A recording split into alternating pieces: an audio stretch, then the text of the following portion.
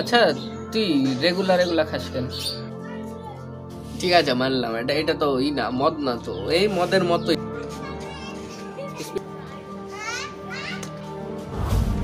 আচ্ছা স্পিড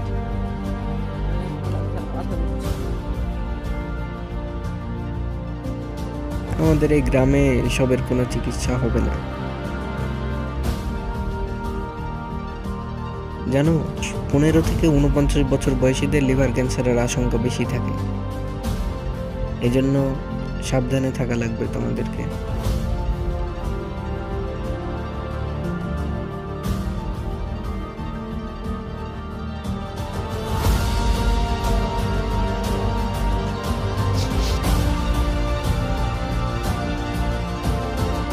আমাদের এই গ্রামে এসবের কোনো চিকিৎসা হবে না।